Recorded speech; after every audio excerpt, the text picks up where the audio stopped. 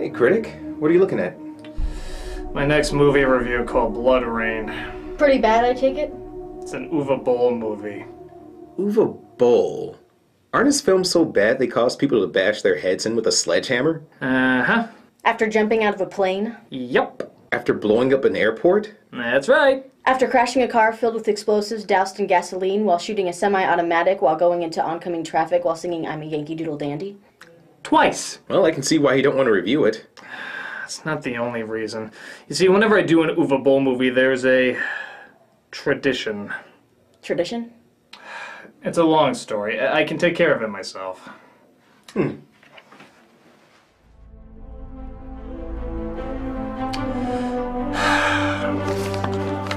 Hello and welcome to Atop the Fourth Wall, where bad comics burn. Sometimes a comic comes along where you just have. It's time.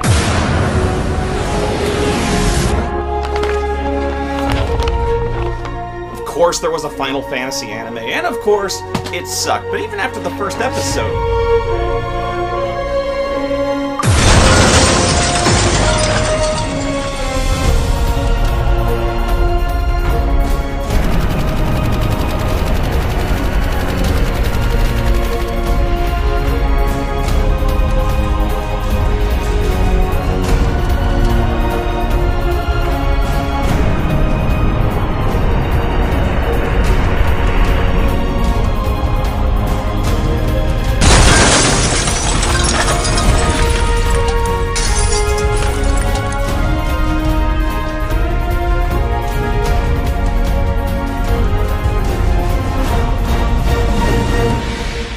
guys are so dramatic.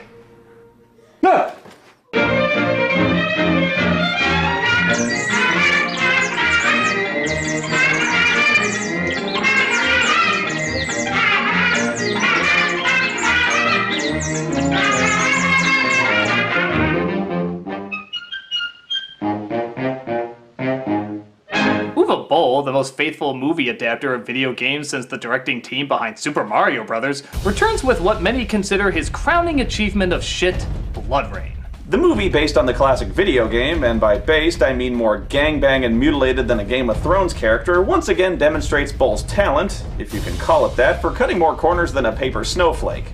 And if you thought Twilight was the worst disservice to vampires the world has ever known, it is, but this one's pretty bad too. So, let's not waste any time. This is. Da da da, critic. Oh, we have something we have to address first. The elephant in the room, which of course is him. What, what did I do? Oh, you know exactly what you did. It happened a few years ago. The drama that was caused, everything that happened on Twitter, on Facebook, on everything like that. The betrayal of everything that we stand for. Roll the clip. You never went to Castleton. I dropped out, okay? This is BloodRayne.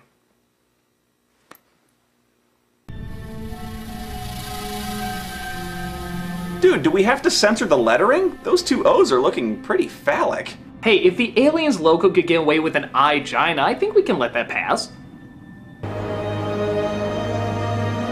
Wonder if the word special is code for blackmailed. I just assume most of Billy Zane's career is blackmail. We open up in. Actually, I don't know. They never give a location or a time period, so that's already two of the basic five essential story elements ignored. Hell, let's just throw Y in there too, as I'm sure most of this film will ignore that. As we see a team of wanderers led by Michael Madsen and his lion mane mullet. The main thing I noticed throughout this movie is it just seems like Michael Madsen is drunk off his ass through the entire film shoot. Seriously, he just looks so drunk and miserable, like they had to send a grip to his trailer and clean him up in a hurry, slap that ratty ass wig on his head, and maybe get a few usable takes out of him. How long do you think it will take to get there? We must go back to Brimstone. This is what I've decided to do. Monastery has been attacked, and the eye is gone. You can almost sense the grip just off camera with a Long Island iced tea waiting for the scene to end and him to shamble over and take another drink. What do you have for us? I think I may have found something of interest. But one of them notices that the person next to him has little to reflect on.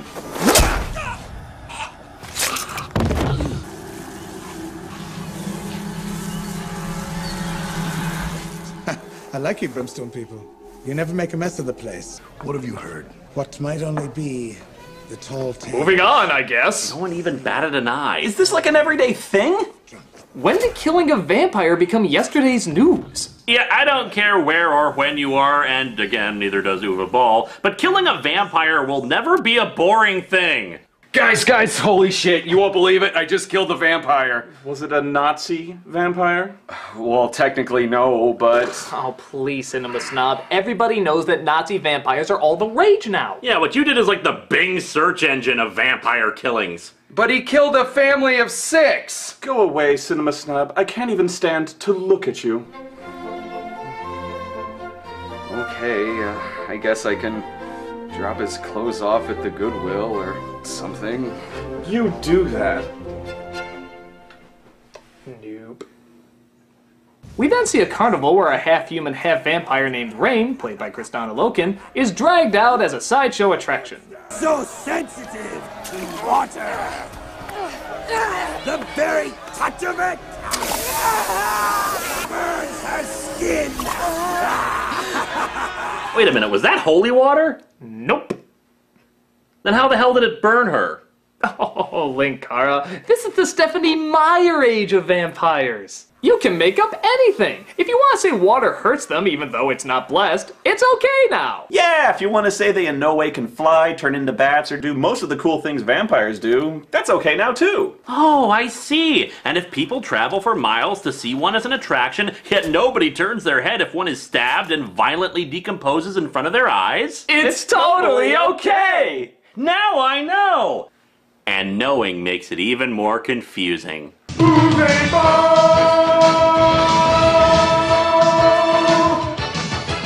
But one of the other attractions, the amazing Candle Slicer, takes a liking to Rayne and dreams of living in a better world with her.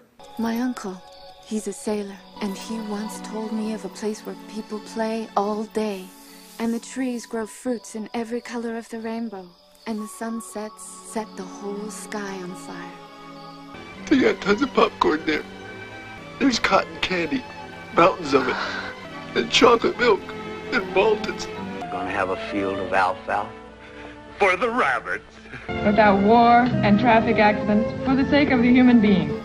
Doesn't it sound wonderful, Rain? We then cut to her escaping? Wait, when did that happen? Guess she was just dreaming. Does she always dream in Photoshop smears?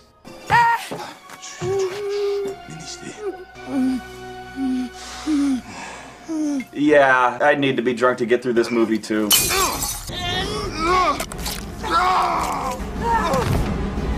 Wait a minute, now she's back in the field. What the hell's going on? Is this a dream? A flashback? What? Frank Miller's time codes are more fluent than this. The three hunters come across the carnival where Rayne was and discovers it's burnt to the ground. This is the work of a young vampire. We have work to do. Um, thank you for chopping off the heads of our dead people. And burning their bodies. She didn't mean to bite me. And stabbing our performers. I'm sorry, have you been helped? Seriously, did these people ever react to anything? Why does nobody care that these wackos are chopping up their dead and living cast members? Just another fad gone passe, I guess. Guys, guys, I just decapitated 20 corpses and stabbed an injured woman through the chest. No reason, really. I'm just kind of sick. Were they ninja decapitated corpses? I didn't ask what their martial arts background was. Oh, snob. Everyone knows if there's any decapitated corpses we're talking about, it's ninja decapitated corpses. Does this guy ever wake up? They sneak without thought, man! But I have a thirst for blood that can't be quenched. Away with you, snob. You become more dated with every passing view. Why won't someone help me? Ah. Meanwhile, at Castle Brownfilter, we see Billy Zane dictating a letter to his daughter. Although we've had our differences in the past, I beseech you now to put away old grudges for the good of humanity. And together we will stop this madness and bring peace to these lands. Your beloved father, etc., etc. And if you have any information about how to get this dead skunk off my head, it would be most appreciated. What do you think? A very compelling argument, Master. Oh, you're such a sucker. Bottom line, Lovejoy, fight her. His daughter in this movie is played by Michelle Rodriguez, and if you couldn't tell by her unbelievable resemblance to him, surely you could tell by her pitch perfect, completely unmistakable British accent. Will you be opening up the gates to the thralls? Grave importance. You should not travel with her. We're growing weaker. I seek to feel secure. Be sure this message arrives. Ah, it's good to know those years at the Dick Van Dyke School of Accents paid off. You will secure the entrance until I return. Well, I, I have to be moving along. The Lord Mayor's got us stopped up chimney.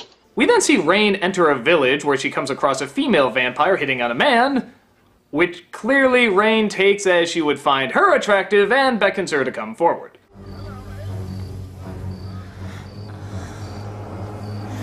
Bow chicka wow, ow! But a fortune teller sees the bit and run and decides, for really no reason whatsoever, to tell her the future. Most believe that your kind are merely legends. Part vampire, part human. Generally, they're exterminated.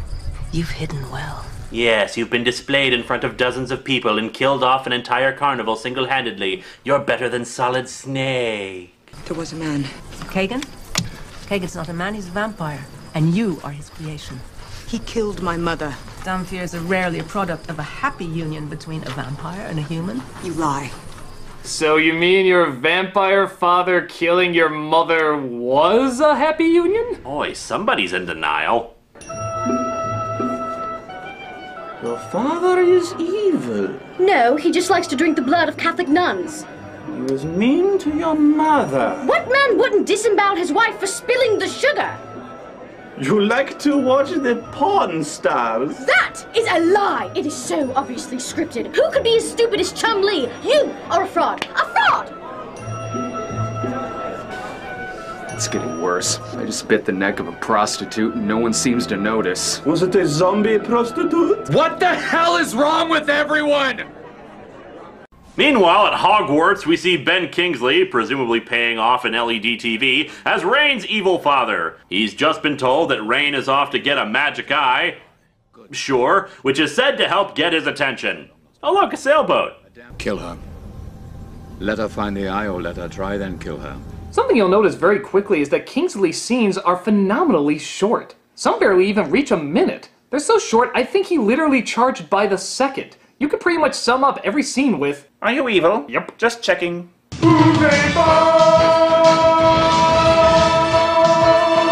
Rayne then makes her way to the monastery where the eye is said to be hidden. She finds a secret location which leads her to a door guarded by an overcooked Fester Addams.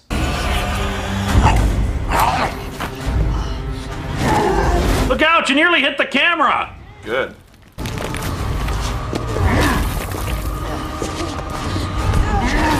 Is this really the best security they could get? Just because he looks like a melting candle of Steve Austin doesn't mean his whack-a-mole method holds any water.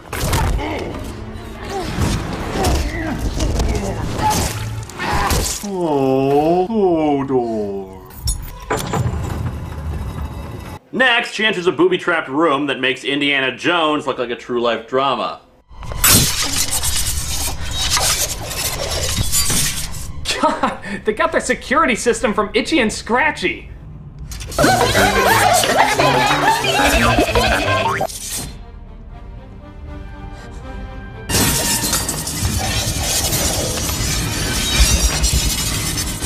Yeah, right. I think we all know what would happen to her.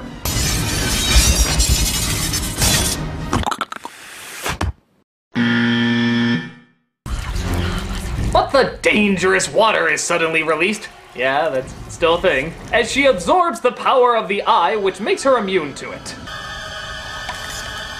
Activating the water trap for the device that makes you immune to the water trap.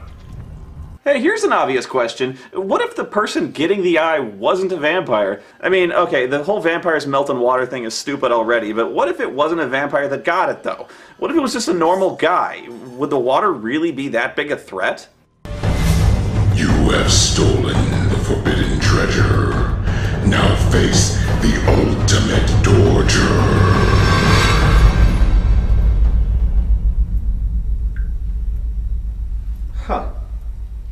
Mildly annoying. Can you do my pits? But all the water, all the buzzsaws, and all the giant guards are no match for their final defense. A polite man who nicely asks her to come with him. I suggest you follow me. Ah! Hold me. it seems that you absorbed the eye, Why do you protect it? Because the eye holds powers. Why do you think water no longer burns you? Still wondering how it hurts her to begin with. The human body is 60% water and blood is 80% water. Then how the hell? Oh, no, is no, it no, fu- Linkara, Linkara, you're thinking too hard about it. Just let it go. But, but it just doesn't add up! Linkara, just keep telling yourself it's Uwe Boll, man.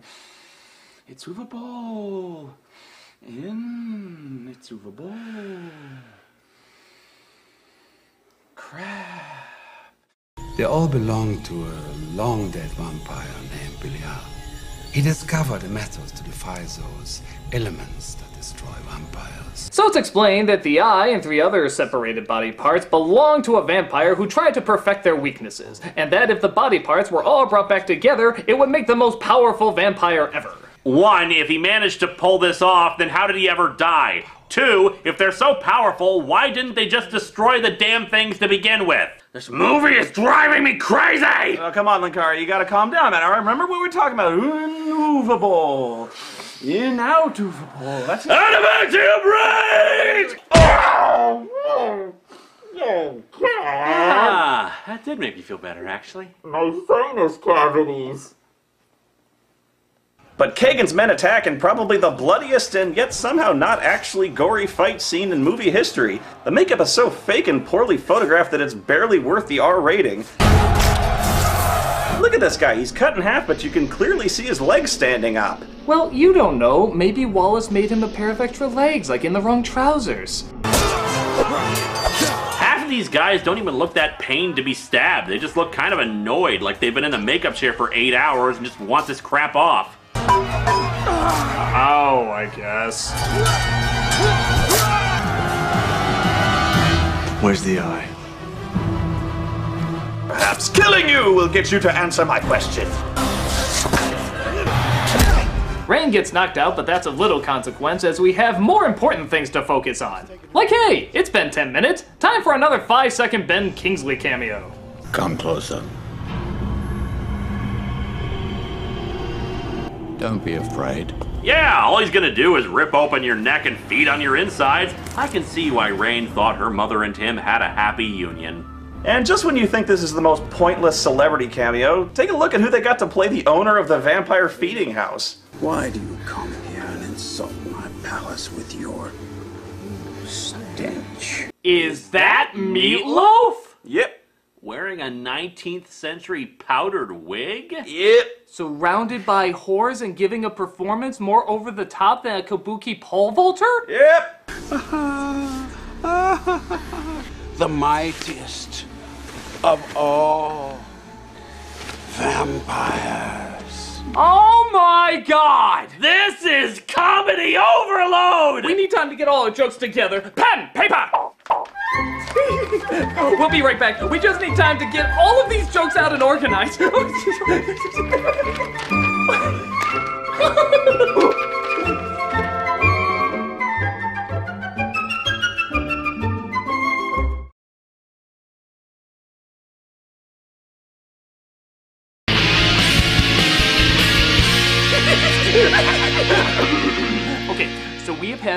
plenty of time to put together our meatloaf jar. so let's shake this up and see what we can get.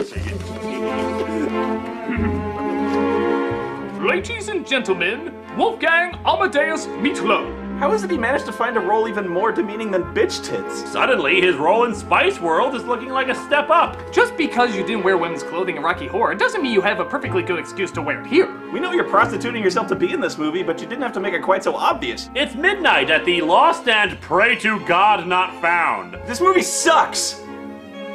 Could use a lot more imagination on that one. Hey, okay, come on. We were reaching the end of the break. I panicked. Actually, they were just buying the clothes. It just so happens Meatloaf came with them. Meatloaf a day keeps the subtlety away. I still like this movie better than To Catch a Yeti. And finally, I would do anything for Boll, but I will not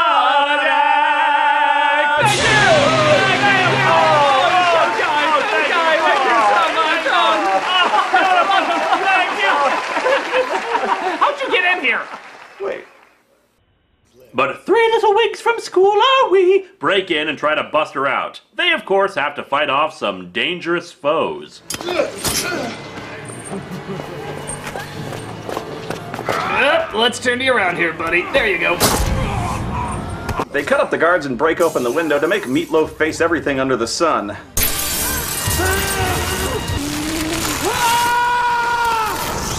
Oh, how nice! He did the Colossus yell before he died. So Rayne explains her backstory, which was already explained, about how Kagan broke in and killed her mother. Hey, come on, I'm Gandhi. Don't you want to say you got with Gandhi? One of the hunters in particular, named Sebastian, takes sympathy on her as his parents were killed too. My mother was killed before my own eyes. My mother and father were both killed. Well, that's enough for me to start banging. Wait a minute, what? Yep, the fact that they both have dead parents is reason enough to apparently make vampire whoopee. How much screen time have they shared together? Well, let's see. A minute. One minute together and they're fucking in a cage like horny canaries? Yep. Where the hell did that come from? That makes no friggin' sense. Oh, please, who hasn't just met a person in jail, talked for only a minute, confessed his parents are dead, and humped each other's brains out in the middle of a half open prison door? I'm speaking hypothetically. So as they train her to be a member of the Brimstone Warriors, Billy Zane gets word of his daughter's actions. Hey, here's a fun game. Count how many times Billy Zane blinks in every scene. This land has become unsettled, Donostia. The future must be held in the hand and vampire perfected. That is an invitation, That's nothing. Count how many times Michael Madsen pauses in between every single line. You're an important part of the Brimstone Society. Pause. Your work Pause. defending the fortress Pause. is essential Pause. to our struggle and survival. Pause. And no one Pause. has ever questioned that. Pause. You Pause. are a leader. Pause. Rayne is a fighter. Pause. I will take Sebastian. Pause. If it pleases you. Jesus, you're making William Shatner look like the Micro Machines guy. As our heroes go to get weapons for battle, nothing but the best plastic non-sharp swords Toys R Us could buy. Who would use plastic swords in the middle of a battle? Huh, how'd this get in my hands?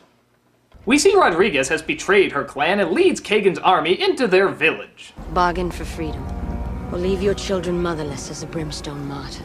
Never. Oh, my bad. I thought we were doing a slow-mo scene. Maybe I should have pulled that out at regular speed. Rayne goes after Rodriguez alone and defeats her while finding the other magic talisman. She finally rides to confront Kagan. And what's her ingenious plan to get in without getting herself captured? Take up. Getting herself captured! I feel like she missed a step there. But it's okay, because Mullet 1 and Mullet 2 have an even better plan to get in without getting themselves captured. Getting themselves captured. Has the film just given up? I mean, not that it tried that hard to begin with. So Rayne's gonna be sacrificed with the talisman to make Kagan the strongest vampire in the world or some shit like that. Honestly, if you still care, you should up the dosage of whatever you're taking.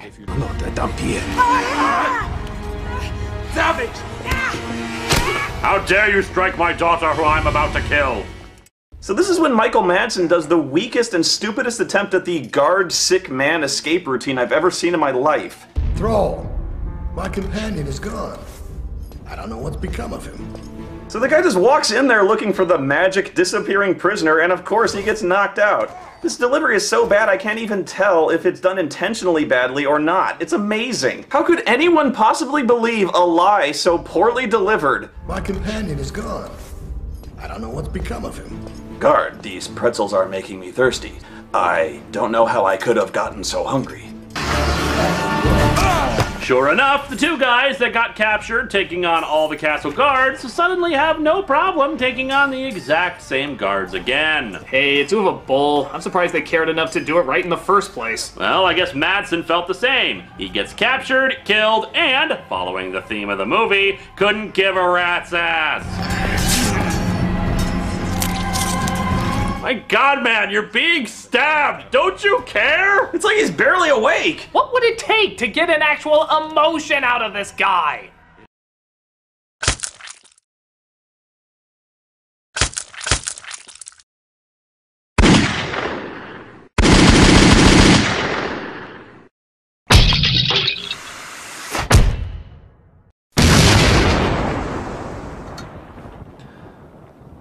Reason.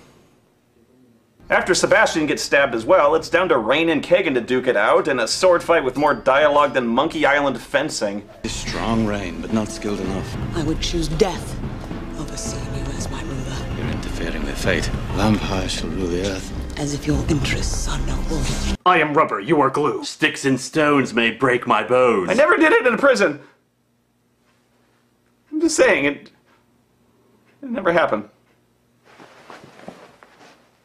For centuries we've been cursed to the shadows, slaughtered by the fearful. You condemned me the day you raped my mother.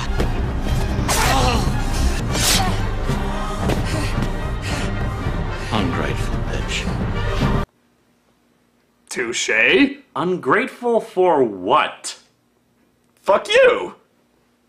Rain finally defeats him, and the battle is won. Yay.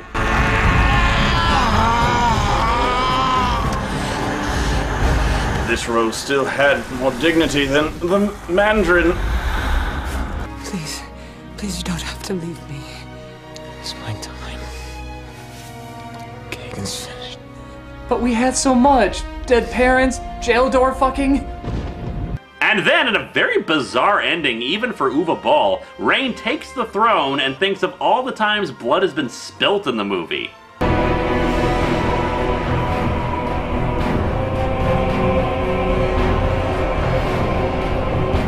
It me realize how many people apparently had red hoses buried in their bodies. Yes, we have a minimal one minute for romantic chemistry, a whopping couple of seconds for most of the villain's establishments, and yet over four minutes of replaying all of the film's goriest moments in slow mo that we already saw before. At least he has his priorities straight?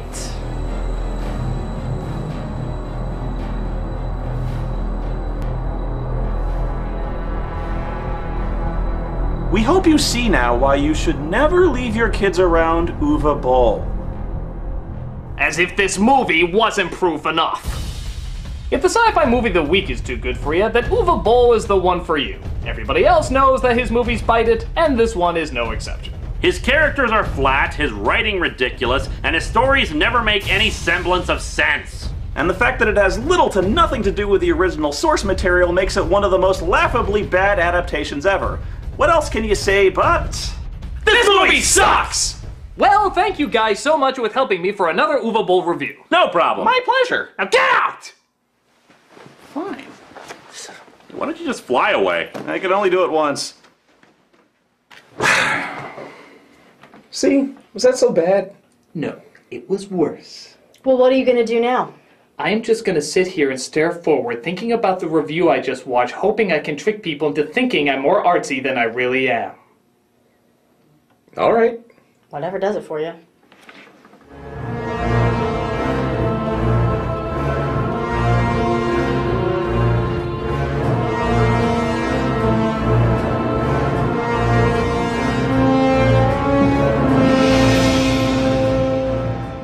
Wait a minute, I don't remember doing that. Like I said, critic, once a stooge, always a stooge. Yeah, you knucklehead!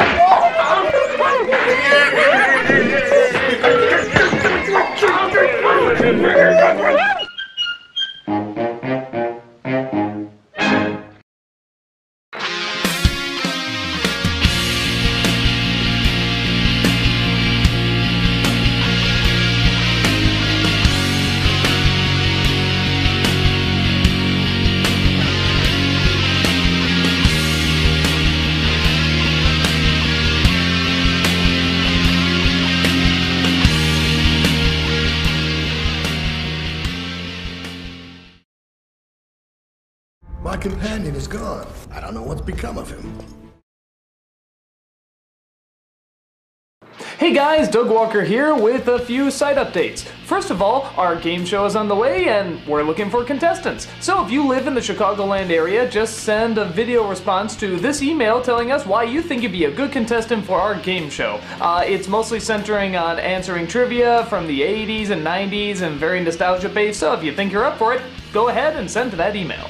We also have a brand new YouTube channel. We still have the League of Extraordinary Critics, but we also have a brand new one that's gonna have the Shut Up and Talks, bum reviews, and all sorts of new videos, and here is the link for that. So, uh, you'll still see stuff on the website, obviously, but we're also gonna be using this YouTube channel, so check that out. If you submitted to the site talent pickup, well, then emails are going out this week to let you know whether or not if you've been accepted. So if you decide to try out this week, you'll find out whether or not you made it. Also, for years, we've been having people ask about advertising on our site. Can we advertise our blog, our business, our shirts, our whatever? Well, now you finally can. For 125 a month, you can have an advertisement right under our video on our site. If you're interested or have any questions whatsoever, go ahead and send an email here. Guys, that's it, and as you can gather, there's a lot more new stuff coming your way, so definitely keep an eye out for that. Take care.